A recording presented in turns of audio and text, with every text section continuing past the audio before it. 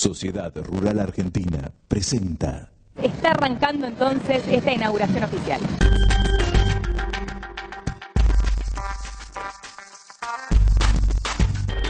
Impresionante las maquinarias agrícolas, ¿eh? Increíble, yo no puedo creer lo que es pasando junto a nosotros.